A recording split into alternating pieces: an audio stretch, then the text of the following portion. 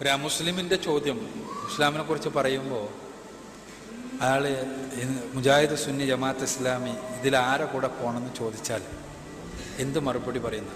ആ മുസ്ലിമിന്റെ ചോദ്യത്തിന് മറുപടി കൊടുക്കുന്നതിന് മുമ്പ് എന്റെ സുഹൃത്ത് അതിലൊരു തീരുമാനമെടുക്കുന്നത് നല്ലതാണെന്നാണ് എന്റെ അഭിപ്രായം.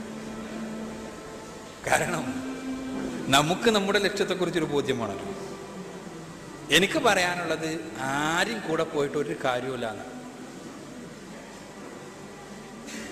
മറിച്ച് ഖുർആാനിന്റെയും സുന്നത്തിന്റെയും കൂടെ പോകുന്നുവോ എങ്കിൽ രക്ഷയുണ്ടാകും. അപ്പോലും പറയണ ഖുർആാനാണല്ലോ വലു പറയണ ഖുർആാനാണല്ലോ. അല്ലേ? അതാണ് നമുക്ക് ഉള്ള ഉത്തരം. നമ്മൾ കടയിൽ പോയിട്ട് സോപ്പ് വാങ്ങണം. എന്താ? സോപ്പ് ഒരുപാട് സോപ്പുണ്ട്.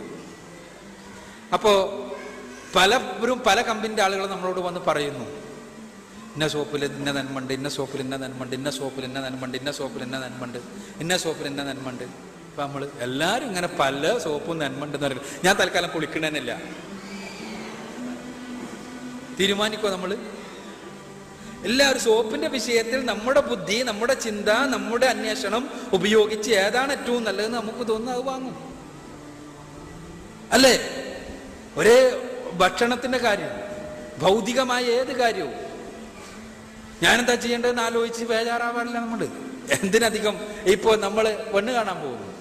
ഞാനൊരു കല്യാണം കഴിക്കാൻ വേണ്ടി തീരുമാനിച്ചു. അപ്പോൾ കുടുംബത്തിൽ പലരും ഇന്ന പെണ്ണാണ് നല്ലത്.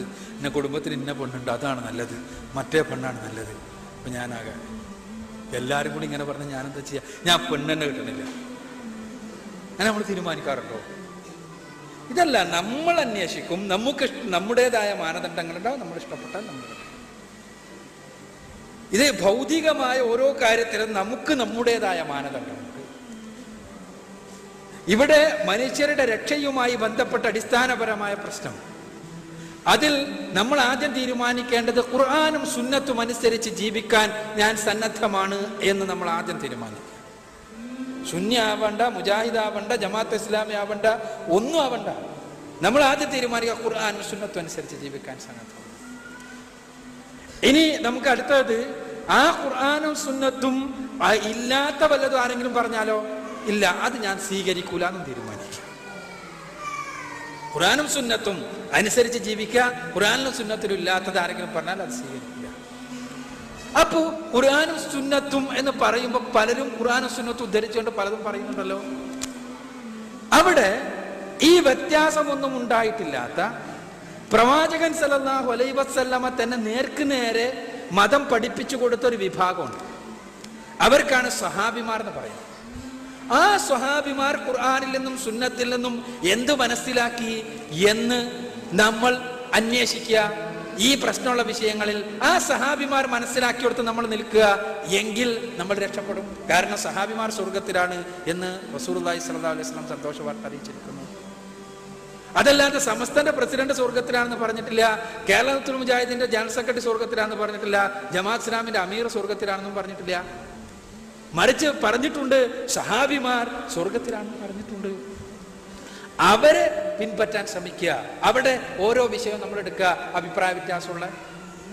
ഉദാഹരണത്തിന് നമ്മുടെ നാട്ടിൽ അഭിപ്രായ വ്യത്യാസമുള്ള വിഷയങ്ങൾ ഒന്ന്. ഒരു ചെറിയ വിഷയം ഞാൻ പറയാം.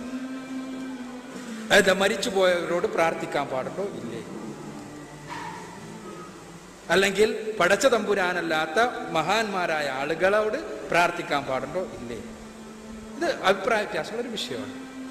മറ്റൊരു വിഷയം. ഞാൻ കുറച്ചുകൂടി എളുപ്പത്തിന് വേണ്ടി ഇപ്പം അടുത്ത് കഴിഞ്ഞതുമാണല്ലോ ഈ നമ്മുടെ നാട്ടിൽ നടക്കുന്ന ഈ നബിദിനാകാംക്ഷം അത് ശരിയോ തെറ്റോ എന്നുള്ള വിഷയം. ഇതൊരു അഭിപ്രായ വ്യത്യാസമുള്ള വിഷയമാണ്.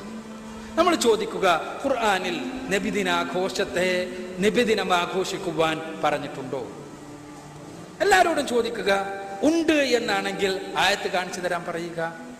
നിങ്ങൾക്ക് ആയത്തിൽ നിന്ന് എല്ലാവരുടെയും പരിഭാഷയുണ്ട്. ആയത്ത് നിങ്ങളൊന്ന് പരിശോധിക്കുക. എന്നിട്ട് നിങ്ങൾക്ക് ബോധ്യപ്പെട്ടു. റബിയുൽ അവൽ മാസത്തിൽ നബിദിനം കഴിക്കുവാൻ ഈ ആയത്തിൽ നിന്ന് നമുക്ക് തെളിവുണ്ട് എന്ന് മനസ്സിലായാൽ നിങ്ങൾക്ക് പൂർണമായി നിങ്ങൾക്ക് സംശയമില്ലാതെ നിഷ്പക്ഷമായി മനസ്സിലായാൽ നിങ്ങൾ അവിടെ നിൽക്കുക. ഇല്ലെങ്കിലോ നിങ്ങൾ അതിനപ്പുറത്ത് നിൽക്കുക.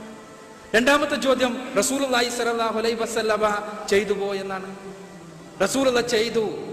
റബിയുൽ അവൽ മാസത്തിൽ നബിദിനം ആഘോഷിച്ചു എന്ന് നിങ്ങൾ കണ്ടാൽ നിങ്ങൾ അതോടൊപ്പം നിൽക്കുക. ഇല്ല. അതനുകൂലിക്കുന്ന പണ്ഡിതന്മാരോട് ചോദിക്കുക. പ്രതികൂലിക്കുന്ന പണ്ഡിതന്മാരോട് ചോദിക്കുക. ഇല്ല എന്നാണെങ്കിൽ അവിടെ നിൽക്കുക. ഇനി ചിലപ്പോ ഈ ആയത്തും അതീസ്വല്ലം വ്യാഖ്യാനിച്ചിട്ട് ആ, പ്രയാസപ്പെടുത്തിയിട്ട് പറയും ഇതാ അവിടെ ഉണ്ട് ഇവിടെ ഉണ്ട് അതുകൊണ്ട് കഴിക്കാൻ പാടുണ്ട് അല്ലെങ്കിൽ കഴിക്കാൻ പാടില്ല എന്നല്ലോ. അപ്പൊ നമ്മൾ ചോദിക്കുക കഴിക്കാൻ പാടുണ്ട് എന്നാണെങ്കിൽ ഈ ആയത്തും ഹദീസും അവതരിപ്പിക്കപ്പെട്ടത് സഹാബിമാരുടെ മുന്നിലാണല്ലോ. ആ സഹാബിമാർ ഏതാരെങ്കിലും ഇങ്ങനെ ഒരു മൗലൂദ് കഴിച്ചിട്ടുണ്ടോ? ഉണ്ട് എന്നാണ് ഉത്തരമെങ്കിൽ അവിടെ നിൽക്കുക ഇല്ല എന്നാണ് ഉത്തരമെങ്കിൽ അത് ഒഴിവാക്കുക. ഇങ്ങനെ നിങ്ങൾ സ്വീകരിച്ചാൽ തീർച്ചയായും നമുക്ക് സ്വഹാബിമാരുടെ മാർഗത്തിലെത്താൻ കഴിയും. അങ്ങനെ മാർഗത്തിലെത്തിയാൽ ചിലപ്പോൾ സ്വാഭാവികമായി ഏതെങ്കിലും ഒരു കൂട്ടത്തിൽ പെടും. അപ്പൊ ആ കൂട്ടത്തോടൊപ്പം പോയാൽ മതി. അതല്ലാതെ ഏതെങ്കിലും കൂട്ടത്തിൽ മെമ്പർഷിപ്പ് എടുത്താൽ മാത്രം സ്വർഗത്തിൽ ചെത്തിച്ചേരുമെന്ന് ആരെങ്കിലും വിചാരിക്കുന്നുണ്ടെങ്കിൽ അത് ഏത് പാർട്ടിയിലാണെങ്കിലും സ്വർഗത്തിൽ എത്തിച്ചേരൂല അതന്നെയാണ് നമുക്ക് ആ മുസ്ലിമിനോടും പറയാനുള്ളത്. അള്ളാഹിന്റെ അനുഗ്രഹം കൊണ്ട് ഒരു കുറേ കാലമായി അമുസ്ലിങ്ങളുമായി ഇത്തരത്തിലുള്ള സംസാരങ്ങൾ മാത്രമല്ല നേർക്ക് നേരെ തന്നെ സംസാരിക്കുവാൻ അവസരം ഉണ്ടാവുകയും ഇത്തരം പ്രശ്നങ്ങൾ സംസാരിക്കുകയും അപ്പോൾ വളരെ കൃത്യമായി തന്നെ ഇത് പറഞ്ഞു കൊടുക്കുകയും അത് പൂർണമായി സംതൃപ്തമായി ഇസ്ലാം അനുസരിച്ച് സഹാബിമാരുടെ മാർഗത്തിലൂടെ നടന്നു പോകുന്ന ഒരുപാട് അമുസ്ലിം അമുസ്ലിങ്ങളായിരുന്നവരെ കാണാൻ ഭാഗ്യം ലഭിക്കുകയും ചെയ്തിട്ടുള്ള ആളെന്നുള്ള നിലയ്ക്ക് ഞാൻ പറയട്ടെ. അതൊരു പ്രശ്നമേ അല്ല. നമ്മൾ ശരിയായാൽ മതി. ആ മുസ്ലിങ്ങൾ ശരിയായിക്കോളും. അവരോട് പറഞ്ഞു കൊടുക്കാൻ നമ്മളടുത്ത് മാർഗമല്ല എന്ന് ബേജാറാവേണ്ട കാര്യമില്ല എന്ന് മനസ്സിലാക്കും.